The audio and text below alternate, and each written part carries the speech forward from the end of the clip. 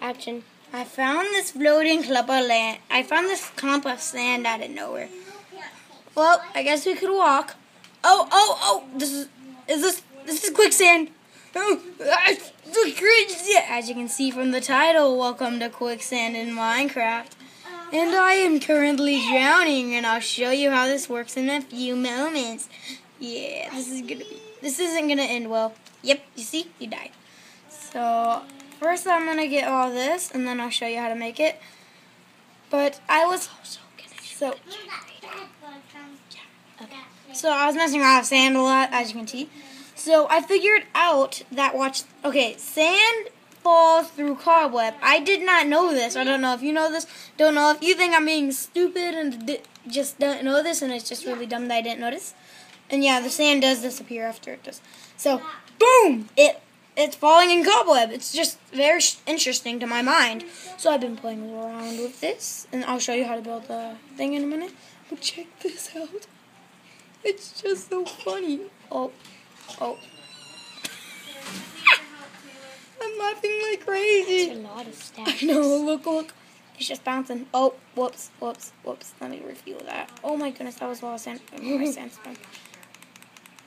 And that wasn't falling in. Oh my goodness. yeah. Looks like a butt pooping poop. So, sorry about that major um delay. I, it was a delay for us, not for you, because you're watching this. Oh my goodness.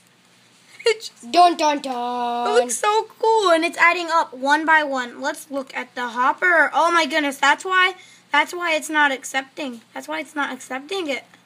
That's why it's not accepting it, cause there's so much in the hopper.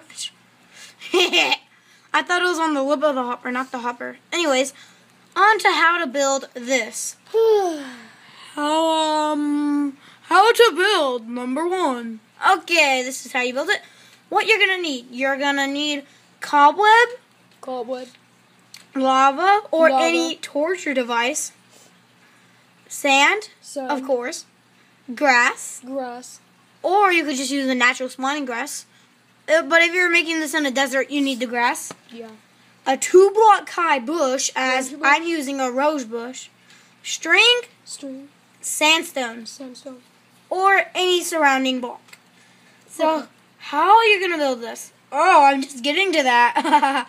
so you're gonna do this. It's gonna be as big as you want it to be, Awesome. but that means more work. As you can see, not awesome. Aw. There might, uh, depending on how much. Um. So yeah, depending on how much you use, blah blah blah. So first, you're gonna start off by putting your roses at the bottom. Then you put the sand on top of your roses. Then you can surround that sand with the block of your choice. I'm using sandstone because it looks like the sand.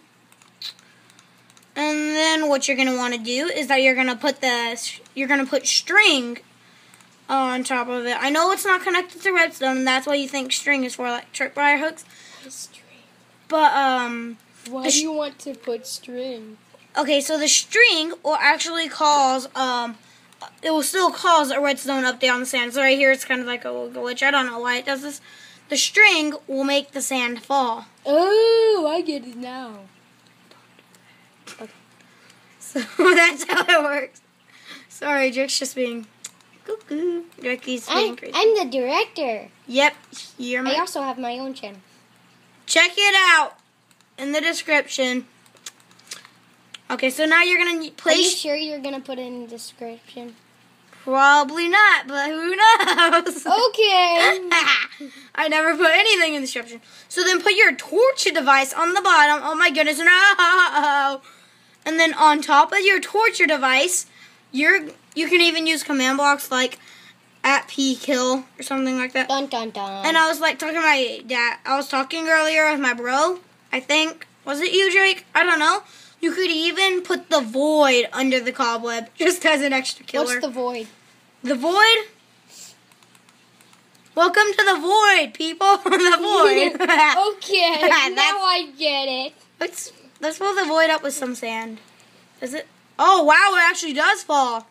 I thought they stopped at the end of the void. Okay, so then, boom! You sink into quicksand.